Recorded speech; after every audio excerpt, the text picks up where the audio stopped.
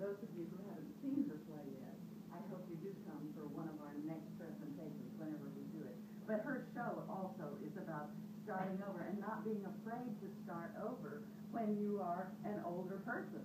Because uh, the whole idea is, you know, don't don't stop. You gotta die with your boots on, right? uh, now this song is.